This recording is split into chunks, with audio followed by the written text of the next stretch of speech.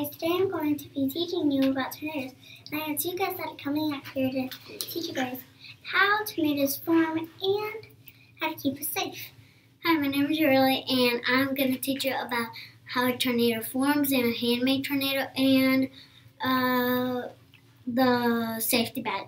So this is how a real tornado forms. Cold and warm air mixed together as they spin around and around and then they spin around and around and then they stop and then they uh, they get together and that's how a tornado is formed. So this is about the safety bag. We need uh, batteries. You also need a flashlight. You will also need an opener, uh, canned food, and a blanket and a pillow and extra clothes and shoes. And here comes Deyvis. In 2016, there were was 976 confirmed in the U.S. 17 people were hurt. Yes. Okay.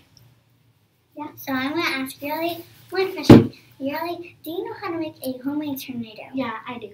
So first you need a, a bottle. You need glitter and soap.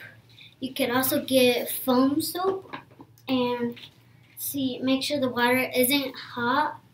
So you open the lid and then put some glitter. Put some glitter.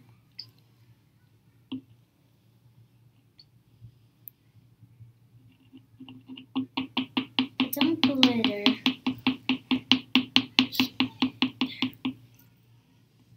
There. Then put some soap. Put some soap. I think that's enough. One more. There. That's enough. Then you close the lid very tight. Oh my gosh. Very tight. Then you start shaking. See the glitter down here?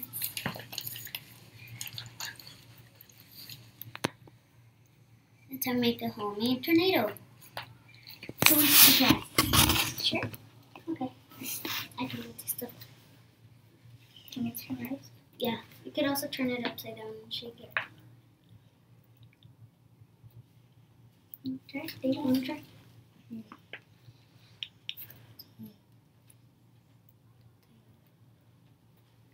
You could also do it like this, like this, and like this.